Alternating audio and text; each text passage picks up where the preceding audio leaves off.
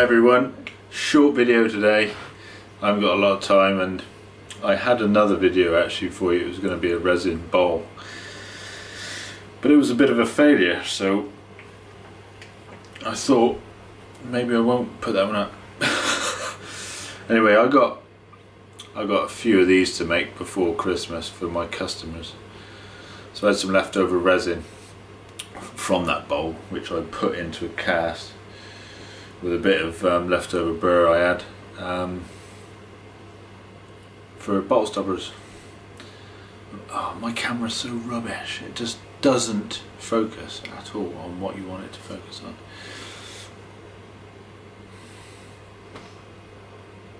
And plus the light in here is just shocking.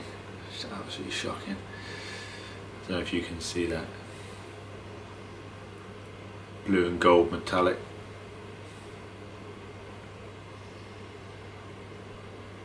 Is it gonna focus?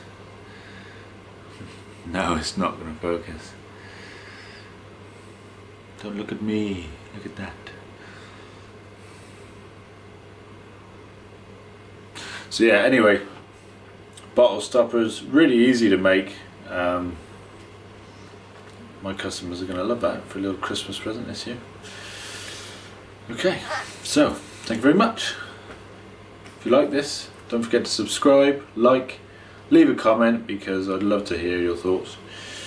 And I'll see you soon.